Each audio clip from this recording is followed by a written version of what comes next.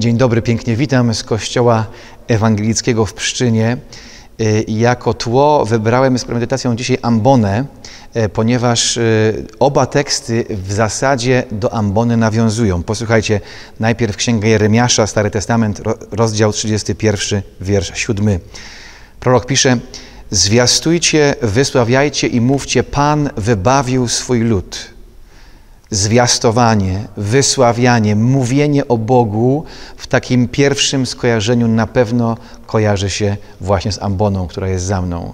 E, Ilekroć Kościół jest poświęcony, to zawsze jest takie miejsce w Kościele, czy to ambona na podwyższeniu, czy jakiś pulpit, e, z którego zwiastowana jest prawda pochodząca z Bożego Słowa i można tą prawdę w bardzo różnych kontekstach opowiadać. W kontekście takim teologicznym, w kontekście naukowym, intelektualnym, w kontekście rzemieślniczym, codziennej pracy.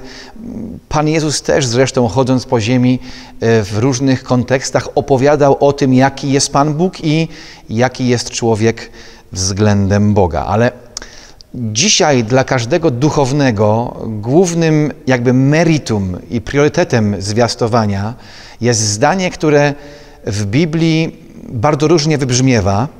Dzisiaj u Jeremiasza brzmi ono: Pan wybawił swój lud. Wybawił czy zbawił, uratował, też można powiedzieć inaczej. Przyznam szczerze, że kiedy słyszę za każdym razem to słowo wybawił swój lud, to mi się taka gra przypomina, e, którą graliśmy, szczególnie dziewczyny, w podstawówce nazywała się gra w gumę, gdzie dwie osoby stały e, po przeciwległych stronach i e, na nogach miały taką długą gumę zahaczoną i trzeba było skakać tam jedyneczki, dwójeczki, trójeczki, aż do dziesiątek i od kostek przez łydki, kolana, uda wychodziło się coraz wyżej i wszystko było super, kiedy ktoś zaliczył każdą kolejną próbę, Gorzej było, jak ktoś zrobił skuchę pierwszą, drugą i trzecią. To w zasadzie odpadał, ale mogła się znaleźć osoba, która wybawiła tego, kto zrobił trzy skuchy i, i odpadł. Wybawienie znaczy uratowanie i przywrócenie znów kogoś do gry. Tak właśnie zrobił Pan Bóg. I to jest sedno i klucz zwiastowania e, o Bogu, że On posłał swojego Syna na krzyż Golgoty. Jezus został ukrzyżowany, krew się przelała, został pochowany w grobie, a potem zmartwychwstał.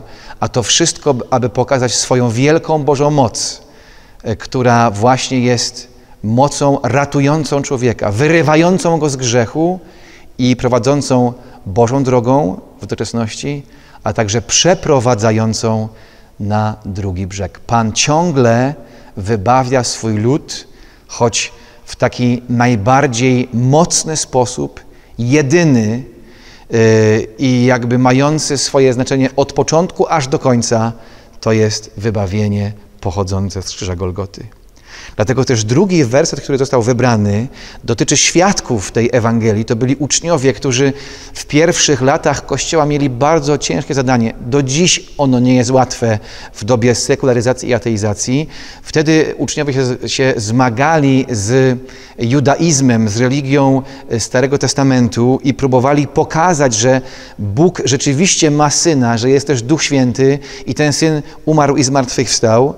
I dlatego w dziejach apostolskich, czwarty rozdział, 29 wiersz jest napisane Panie, dozwól sługom swoim, aby głosili z całą odwagą Słowo Twoje. Tamci byli bardzo odważni. Dzięki jedenastu Ewangelia została zaszczepiona i poszła na cały świat. Dotarła również do naszych miejscowości. Chcę zachęcić dzisiaj moich braci i siostry w urzędzie, aby z całą odwagą zwiastowali Boże Słowo o ratunku, o wybawieniu, o zbawieniu z grzechu i o tym, że człowiek nie musi umierać na wieki. Ale mówię o tym też w kontekście nas wszystkich słuchających, szczególnie być może w kontekście ojców, którzy dziś, 23 czerwca, obchodzą swoje święto.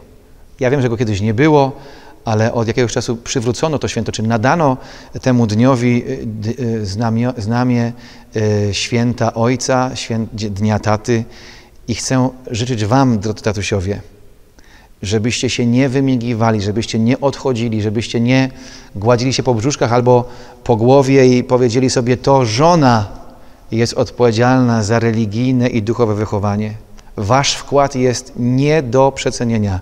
Wszystkie naukowe badania potwierdzają, że jeśli tylko żona bierze udział w religijnym wychowaniu dzieci, to jedynie niewielki procent y, tych dzieci ma szansę, że w przyszłości y, przy tych zasadach pozostaną. Ale gdy tata również się do tego dokłada, wtedy ten, ten procent szansy wzrasta znacząco, kilkudziesięciokrotnie.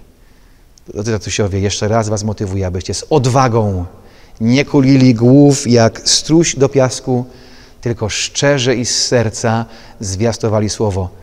Niekoniecznie słowem, ale tym, kim jesteście. Swoim zachowaniem, swoim przytuleniem, swoim czasem, który spędzacie z dziećmi, swoim pójściem razem z nimi do kościoła. Pan wybawił swój lud. Oto wieść, oto zwiastowanie, która w, które w dzisiejszym dniu, dniu święta Taty, ma nas wszystkich napełniać nadzieją, ma wzbudzać w nas wiarę i dodawać odwagi do tego, aby być wiernym świadkiem Chrystusa. Dzisiaj również. Pomodlimy się. Na dzisiaj modlitwa Augustyna z Hipony. Rozświetl, Panie, swym światłem naszą drogę. Uzdolnij nas do niesienia pociechy i motywacji wszystkim, którzy wspólnie z nami podążają ścieżką życia do Ciebie. Proszę Panie o to również w kontekście ojców. Dziękuję Ci za wszystkich tatów, którzy rzeczywiście przykładają rękę do pługa i świadczą o tym, że są Twoimi uczniami, że jesteś dla nich ważnym, że jesteś dla nich najważniejszy w życiu, że wskazują swoim dzieciom, jak to dobrze jest podążać za Bogiem i być Mu posłusznym. A tym, którzy nie są do tego przekonani, którzy się boją, że może będą wyśmiani przez innych swoich kolegów, Panie, dodawaj odwagi by nie patrzyli na innych ludzi, ale byli przekonani, że warto dla Ciebie słyszeć i tą Ewangelię o zbawieniu, o wybawieniu, także przekazywać młodemu pokoleniu. Prosimy o to w imieniu Jezusa Chrystusa. Amen. Zostańcie z Bogiem. Życzę dobrego dnia Ojca i całego dnia.